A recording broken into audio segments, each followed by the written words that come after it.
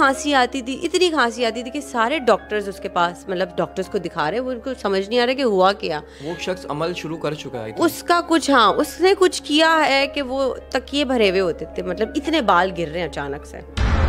तो फिर वो बुज़ुर्ग उठ के घर आए हम्म। और उन्होंने पूरे घर को देखा हाँ। फिर उनकी अम्मी को बिठाया और बोला कि इस घर में एक औरत है। बेसिकली ये घर ही उस औरत का था ठीक है? औरत? कौन सी औरत? औरत मतलब एक चुड़ैल। वो जो घर था, वो एक चुड़ैल का घर था। अस्सलाम वालेकुम जी, और हॉरर पॉडकास्ट में आपको वेलकम करते हैं, और हॉरर पॉडकास्ट में हमेशा मेरे साथ शेख साहब होते हैं, लेकिन इस दफ़ा हमारे साथ रोज़ हैं, जो कि हमारी टीम का हिस्सा है, और अहमद ख़ान पॉडकास्ट के सभी लोग रोज़ को जानते हैं। और रिसेंटली मुझे पता चला कि उनको भी हॉरर मूवीज़, हॉरर नॉवेल्स देखने का बहुत शौक़ है, और फिर कुछ ऐसे वाक़ात हैं जो इनकी फैमिलीज़ के साथ हुए। तो वो आज इनसे डिस्कस करेंगे। तो वेलकम करते हैं। अस्सलाम वालेकुम। अस्सलाम वालेकुम आप कैसे हैं? मैं बिल्कुल ठीक हूँ। और ये मुझे रिसेंटली पता चला कि आप हॉरर नॉवेल्स और मूवीज़ की बहुत बड़ी शौकीन है। मैं लिटरली हॉरर मूवीज़ की दीवानी हूँ। पहले तो बुक से स्टार्ट किया था। बुक से स्टार्ट हाँ बचपन में घूस फिर हम गए स्टीवन किंग पे। सो so, ऐसे ग्रेजुअली अच्छा स्टीवन किंग मुझे तो नहीं पता लेकिन जो भी हॉरर के फ़ैन नंबर वन है ना? Horror author in the world उस पे इतनी मूवीज़ बनी हुई है ना? इतनी मूवीज़ बनी हुई है इस पे क्योंकि बेसिकली नॉवेल है। बेसिकली वो एक ऑथर है स्टीवन किंग हम्म। और फिर लोग उसको मूवी में अडेप्ट करते हैं। ओके बेसिकली पता है हॉरर हाँ। पता है हॉरर्स ये लोग समझते हैं ये ज़ॉम्बी और ये सॉ ये भी हॉरर है। ये हॉरर नहीं है इट्स गोर हॉरर तो वो मुझे अच्छा लगता है paranormal activity conjuring you know the ring possessed ऐसी चीज़ें अच्छी लगती है और अच्छा मैंने अभी जब आप मुझे ऑफेयर बता रही थी तो गालिबा आपकी दादी का भी एक वाक़ था जी तो आपने मुझे शो में इनवाइट किया तो मैंने सोचा कि ये वाक़ मैं आपके साथ शेयर करूँ बिकॉज़ हम्म। ये शो ही ऐसा है सो हम्म। so, हमारी जो दादी थी बहुत अमीर थी एंड okay. बहुत बिकॉज़ वो इंडियन थी तो वो थोड़ा सा she was very very very beautiful वो पहले दिल्ली बेस्ड थी यू नो हाँ Delhi so she was like very pretty you know बहुत ही ज़्यादा खूबसूरत और उनके कोई दस बारह बच्चे हैं। हम्म। ठीक है? और जिसमें सबसे जो छोटी वाली थी ना वो बिल्कुल अपनी अम्मी के ऊपर गई थी। मतलब हमारी जो आमना पप्पो थी। ज़्यादा प्यारी थी। हाँ बाकी के बच्चे इतने प्यारे नहीं थे बिकॉज़ हाँ। हमारे दादा इतने ज़्यादा खास नहीं थे। हाँ, लेकिन वो वाली थी वो कहते हैं ना एक बिल्कुल अम्मी की कॉपी निकलता है। हम्म। सबसे लास्ट बॉर्न होता है वो ऐसा ही होता है। खैर उनके जो घर का जो रहना सहना था वो थोड़ा नवाबों वाला था। हम्म। हर किसी के पर्सनल नौकर है ये है तहज में नौकर आते थे भाई। तो उनकी भी ना शादी वो लेके कोई नौकरानी लेके आई थी। दहेज में नौकर क्या होता है मतलब उस टाइम पे ट्रेंड होता था। अब हाँ। थोड़े से एजुकेट हुए हैं लोग कि हमारे अग, इफ़, अगर आप अमीर हैं और आपकी बेटी शादी करके जा रही है तो आप अपनी बेटी के साथ एक नौकरानी भेजेंगे कि हमारी बेटी को तकलीफ़ ना हो। ओ। ये वाला ट्रेंड था। Okay, तो okay. अब तो खैर लोग एजुकेट हुए हैं उस चीज़ से बाहर निकले hmm. लेकिन वो पुराना दौर था तो नवाबों वाली ज़िंदगी थी। एंड uh, वो हसीन भी इतनी थी तो उनके हस्बैंड कहते थे भाई तुम क्लास भी ना उठाओ। अच्छा। हाँ बस बस वो बैठी रहो मैं तुम्हें देखता रहूँ। वो वाली ज़िंदगी थी उनकी। अच्छा तो स्टोरी क्या है? स्टोरी कहाँ से शुरू होगी? अच्छा स्टोरी मेरी दादी की जो बेटी है सब सबसे हम्म। छोटी आमना। आमना। और जो नौकरानी की बेटी है आई थिंक रुखसाना। रुखसाना। हाँ क्योंकि वो दोनों हम उम्र हैं और वो साथ बड़े हुए हैं तो ज़ाहिर सी बात है दोस्ती भी है। हाँ। तो स्टोरी इन दोनों की है।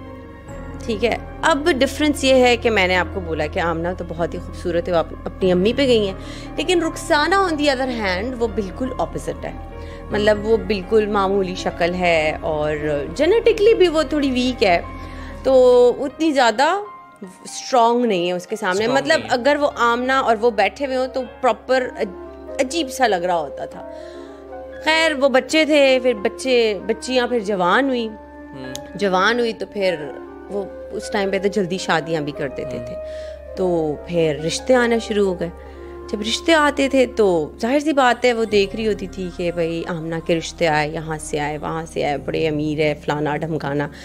अब वो देखती थी कि मेरी बेटी का अभी तक कोई रिश्ता नहीं आया। कौन देखती थी? वो जो मेरी दादी की नौकरानी होती थी वो देखती थी कि रुखसाना को कोई ख़ास उसकी तरफ़ कोई देखता भी नहीं है कोई इसको अटेंशन भी नहीं देता। ओके ओके यानी आपकी दादी की जो नौकरानी है वो कॉम्प्लेक्स का थोड़ा शिकार है। वो हाँ आमना को लेके क्योंकि आमना, आमना बेसिकली थोड़ी थोड़ा थोड़ा ना उसको आमना के लिए जहर आना शुरू हो गया था उसके दिल में।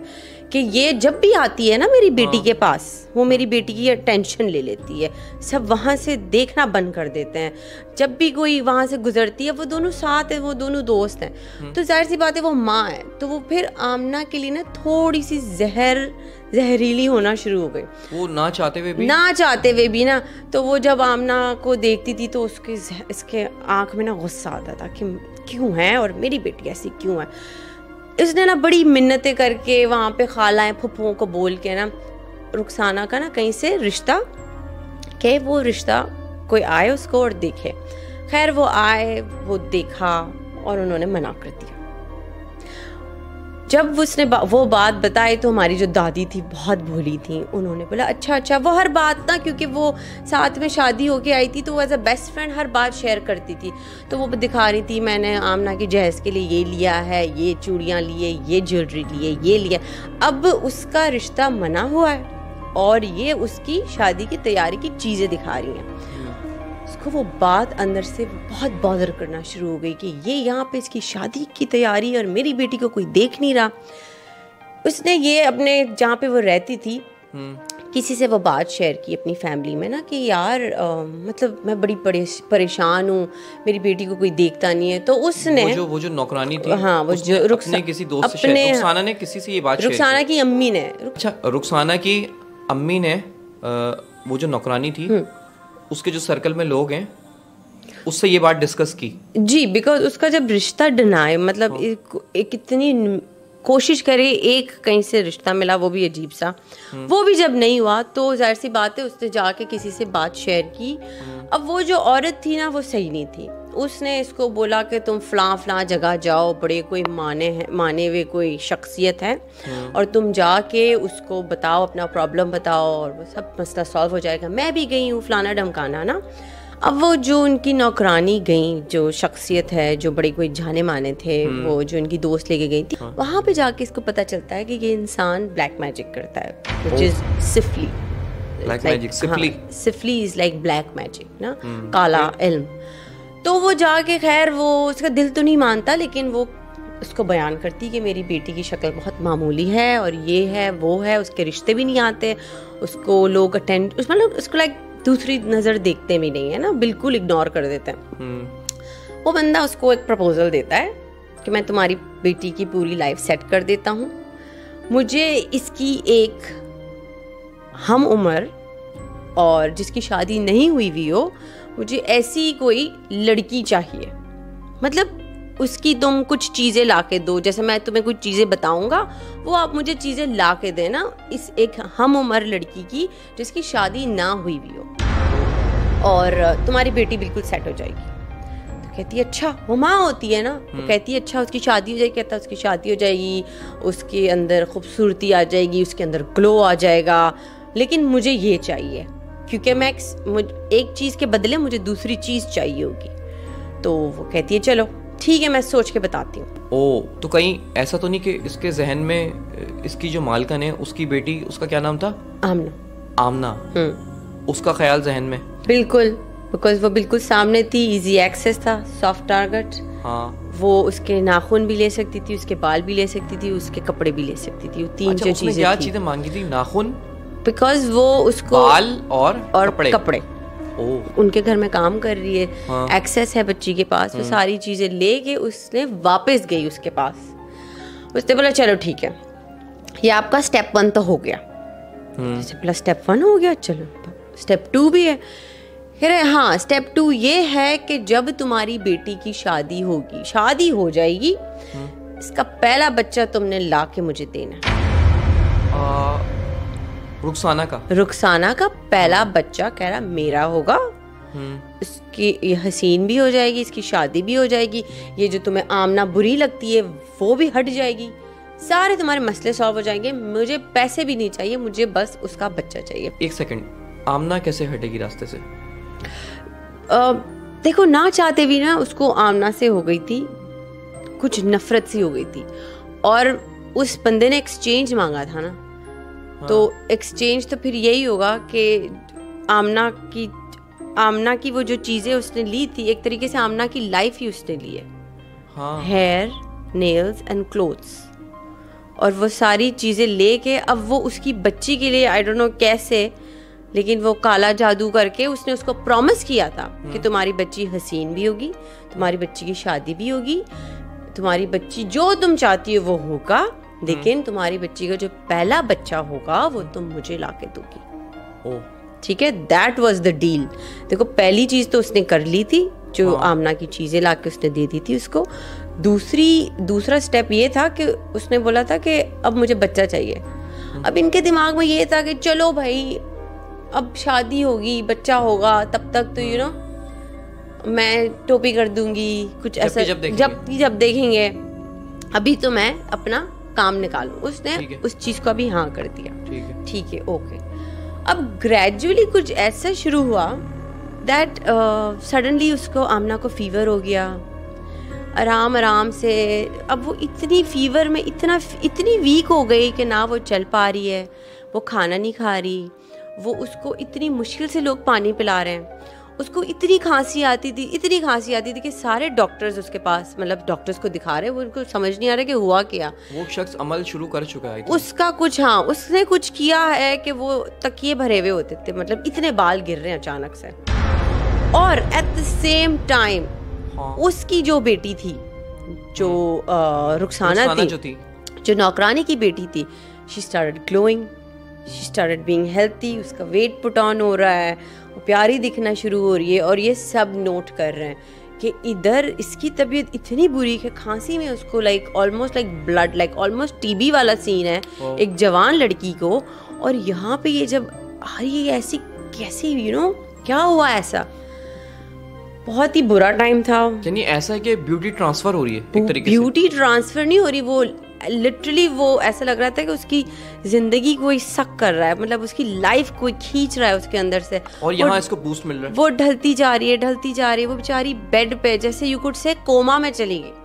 और वो इतनी हसीन इतनी इतनी हसीन और जब उनकी डेथ हुई तो वो बिल्कुल ही बिल्कुल ही कोई ढांचा थी उसकी डेथ हो गई। उसकी डेथ हो आमना गई। की? उसकी डेथ हो शी पास्ट अवे एंड वो बहुत ही एक ट्रॉमा था मेरी दादी के लिए लेकिन वो बिल्कुल उस उस बात को वो तो एक्सेप्ट नहीं कर पा रही थी कि मैंने उसके कपड़े बनाए थे उसकी ज्वेलरी मैंने जमा की थी और अब वो नहीं है she was just like a young girl और लेकिन जवान थी वो नई नई जवान। हाँ। लेकिन दूसरे हाथ पे रुखसाना की जो जवानी थी सब लोग देख रहे भाई इस, इसके अंदर क्या हो गया उस जवानी? फिर रिश्ते भी आ रहे हैं सारी चीज़ें अच्छी भी हो रही हैं। क्योंकि वो लाइफ जो कभी आमना जिया करती थी अब वही सेम लाइफ रुखसाना जी रही है। बिल्कुल।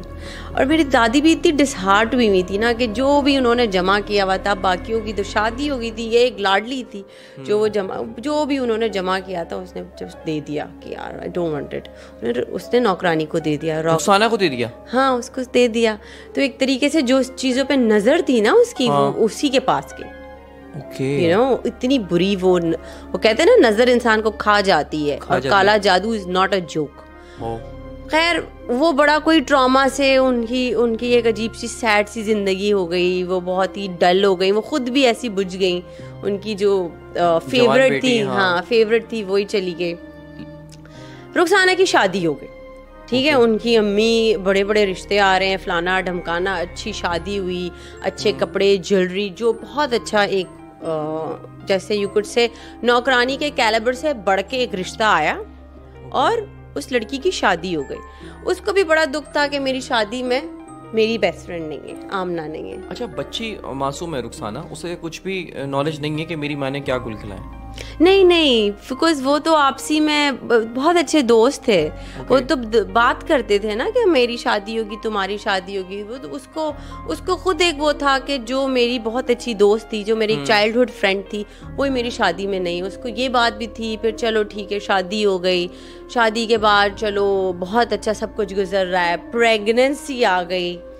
अब प्रेग्नेंट जब वो हुई तो चले नाइन मंथ्स के बाद बेबी भी हो गया। अब जब बच्चा हुआ तो नौकरानी के घर पे अच्छा नौकरानी बिल्कुल वो हुई हुई है डेढ़ शियाणी बनी हुई है ना कि कौन भाई मैंने तो ऐसा कुछ प्रॉमिस भी नहीं किया कुछ भी नहीं किया। Okay okay. अब वो जो बच्चा जो पैदा हुआ बीमार बीमार बीमार वो कभी चुप ही ना रहे रोता रहे रोता रहे डॉक्टर्स फलाना डमकाना ये वो ये। छह महीने तक तकरीबन सब कुछ ठीक था। ओके ठीक है? अच्छा सेवन्थ मंथ में क्या हुआ? कि अच्छा बच्चा भी बहुत खूबसूरत बहुत हसीन सब हम्म। चीज़ें ठीक चल रही है। ओके सेवन्थ मंथ में रुखसाना की जो तबीयत थी वो थोड़ी सी पहले डाउन हुई फिर डाउन हुई फिर डाउन हुई।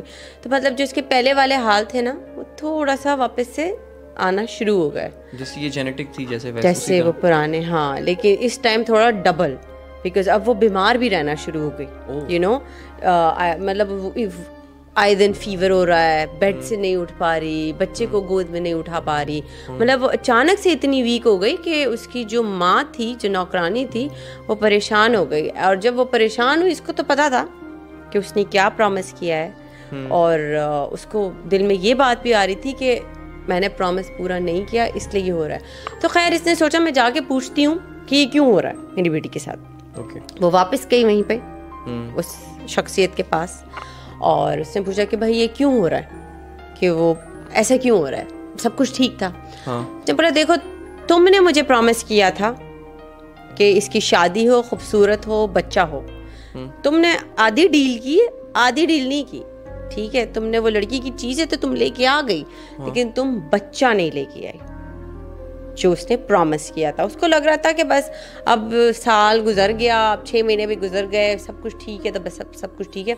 उसने बोला नहीं अगर तुम नहीं दोगी बच्चा और तुम यहाँ पे मान के गई हो कि मैं दूँगी और तुम नहीं दोगी तो तुम्हारी बेटी का भी वही हाल होगा जो दूसरी लड़की का हुआ था। आमना का जो हाल हुआ आमना का हुआ था। और उसका वही हुआ था कि अचानक से रुखसाना का वेट ड्रॉप शुरू हो गया था फीवर बेड से नहीं उठ पाना वीक यू नो और अब यही सारे सिम्टम्स उसके साथ थे मतलब जो। आमना के थे ना वो आहिस्ता आहिस्ता इसके साथ तो डबल हो रहा था क्योंकि वो सारी खूबसूरती भी डल रही थी। तो लोग भी परेशान हो गए थे कि भाई क्या कोई जानलेवा बीमारी हो गई है क्या हो गया अचानक से? हाँ। भाई ये नौकरानी ने बोला कि चलो भाई बच्चे तो और हो ही जाएँगे। उसने बड़ा वो ही कुछ भी करके बच्चा लिया जाके इस बेहिस औरत ने हाँ, अपना ग्रैंड चाइल्ड उस ब्लैक मैजिक करने वाले को दे दिया। ओके ठीक है? जानते हुए कि ये बच्चे को मौत के मुँह में डाल रही है। बिकॉज़ वो उसने मार देना था। उसने पालना तो नहीं था ना। उसने, उसने मार देना था। मार देना था। जी वो मार मतलब वो एक सेक्रीफाइस था। तो ये एक पार्ट था मतलब इस सारे प्रोसेस का ये भी एक पार्ट था। था। हाँ उसको पता था। देखो एक तरीके से दो ह्यूमन सेक्रीफाइसेस हुए ना। इतनी बड़ी प्राइस थी दो इंसानों की डेथ एक क्या शादी के लिए और खूबसूरती के लिए? ये बन ये बहुत ही कोई बेहिस औरत है इसने उनको दे दिया ये जो भी शख्सियत थी। हम्म। ये जब घर पे जाती है तो बेचारी उसकी जो बेटी होती है वो पूछती है कि कहाँ है? वो जवाब नहीं दे पाती वो क्या बोलेगी कि मैं हाँ। मरने के लिए तुम्हारा बच्चा छोड़ रहे वो पूछती है वो पूछती है वो अग्रेसिव हो जाती है ज़ाहिर सी बात है वो माँ है वो पूछती है कहाँ पे है मेरा बच्चा? तुम लेके गई थी मैंने तुम्हें दिया था कहाँ पे छोड़ के आ गई तुम? हम्म। उसके पास जवाब नहीं होता जब वो बहुत ज़्यादा चीखना शुरू हो जाती है वो पागलों की तरह घूम रही होती है वो कहती है मैं अपना बच्चा वो बीमार है वो ऐसे बाहर रोड पे निकल रही है। तब वो मजबूरी में ना उसने उसको पूरी स्टोरी बताई।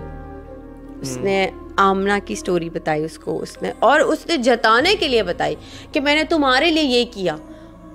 वो सबसे पहले तो उसको ये ट्रॉमा लगता है कि तुम मेरा बच्चा किसी को दे के आई हो और वो मार देगा।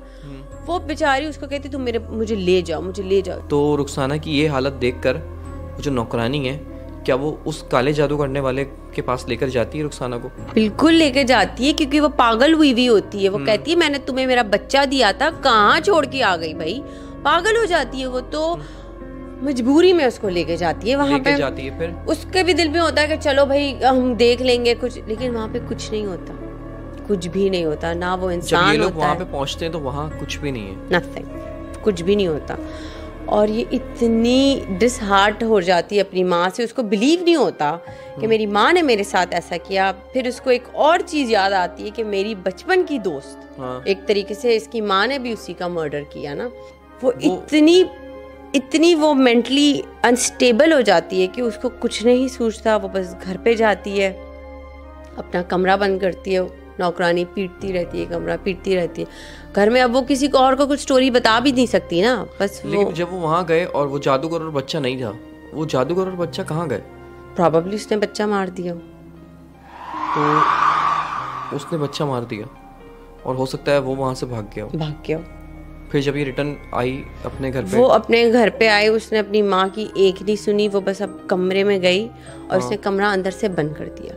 जब हम्म। उसकी माँ ने बहुत शोर मचाया कि दरवाज़ा नहीं खोल रही रुखसाना दरवाज़ा नहीं खोल रही ज़ाहिर सी बात है वो बता तो नहीं रही बता तो नहीं सकती ना लोगों को हम्म। कि क्यों नहीं खोल रही हम्म। वो कब दरवाज़ा पीट रही है पीट रही है दरवाज़ा खोल ही नहीं रही जब उसका हस्बैंड आता है दरवाज़ा तोड़ के वो लोग अंदर जाते हैं तो वो देखते हैं दैट उसने अपनी नसें काटी हुई और वो सुसाइडेड उसने भी मर चुकी है। उसने खुदकुशी की उन लोगों ने कोशिश की कि भाई उसको बचा लें बट उस ज़माने में इतना वो नहीं इतनी टेक्नोलॉजीज़ नहीं थी कि आप किसी को अगर वो सुसाइड कर चुका है तो अच्छा। उसको आप नशे काट चुका है तो उसको आप बचा लें।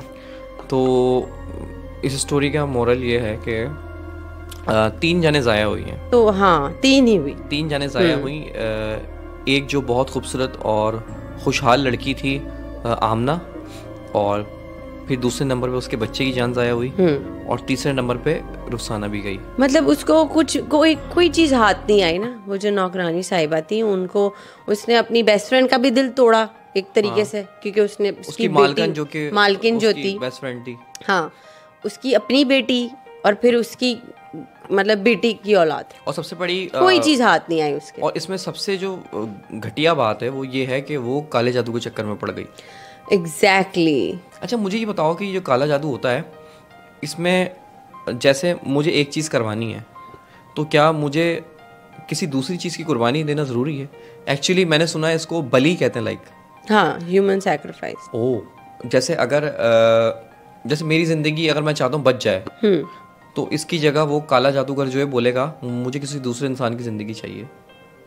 इस is called this is called bali. This is probably called a human sacrifice कि जान के बदले में जान होती है नॉर्मली और ये काले जादू में सबसे मतलब... और मैं आपको एक बात बताऊँ जो इंसान काला जादू करवाता है वो एंड में ऐसा ही रह जाता है दुखी बर्बाद। दुखी बर्बाद। हाँ वो सफल नहीं होता ना। बिकॉज़ वो जिस पे करा रहा होता है वो हाँ. भी उसको भी डैमेज करता है हाँ. और ये चीज़ें आपको भी डैमेज करती है। हम्म। वो खुश नहीं रह पाते ना। ओ ओ ओ काफ़ी इंटरेस्टिंग स्टोरी थी और बड़ा मज़ा आया मुझे ये स्टोरी सुनकर। काफ़ी कॉम्प्लिकेटेड भी थी काफ़ी कॉम्प्लिकेटेड भी थी लेकिन आ, मुझे इसी तरह की स्टोरीज ज़्यादा पसंद है जिसमें बहुत सारे सस्पेंस हों। हाँ ट्विस्ट बहुत थे हाँ इसमें ट्विस्ट बहुत ज़्यादा था। तो कोई दूसरी कहानी आपके है जहन में तो वो भी हमसे शेयर करें। दूसरी कहानी आई नो ऑफ़ मैंने जैसे पढ़ी एक स्टोरी तो मैं अच्छा। आपको वो हाँ कहानी बयान कर देती हूँ। एक फैमिली होती है। हम्म। बहुत अमीर। बहुत ही हम्म। ज़्यादा अमीर और वो नया घर लेते हैं उनको एक अच्छी डील पे घर मिल जाता है। हम्म। तो उनका एक इकलौता बेटा होता है। छोटा सा ना। नई फैमिली मतलब लाइक नए नए मियाँ बीवी छोटा सा बच्चा। अच्छी गुड लुकिंग रिच फैमिली बड़ा सा घर अच्छी नॉक ऑफ़ डील पे उनको घर मिलता है। Okay. वो बड़े खुश होते हैं। अच्छा लोग नेबरिंग नेबर्स जो होते हैं जो नेक्स्ट